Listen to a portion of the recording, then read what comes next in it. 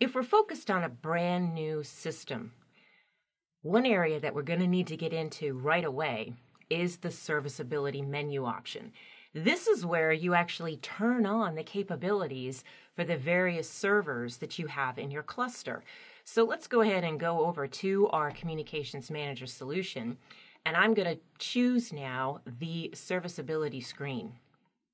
Let's go there and we'll see the menu options changing for what we have access to.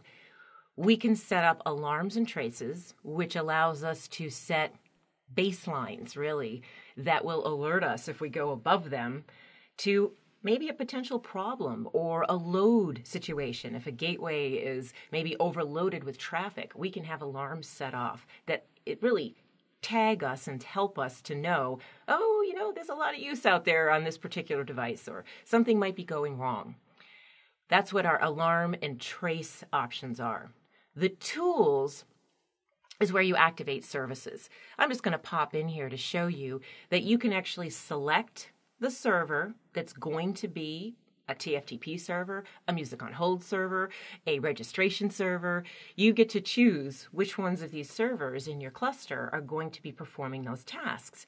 Now, in my lab solution, I've turned everything on because I want to be able to uh, uh, be able to demo everything for you that I can. One of the main things, though, I wanted to point out is before you can add a single phone, gateway, user, anything to the system, you must have activated the Cisco Call Manager service. That's why sometimes you hear me call this the Call Manager, because the application, the service, is called Call Manager.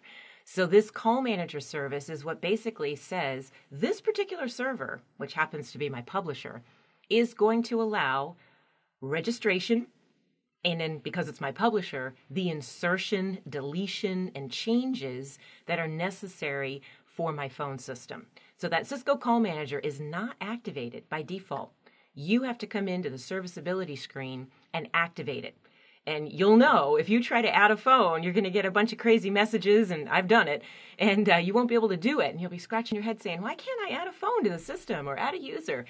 I better come check and see if I've actually activated this Cisco Call Manager service on my servers so that I can insert things and, and manage things in my database.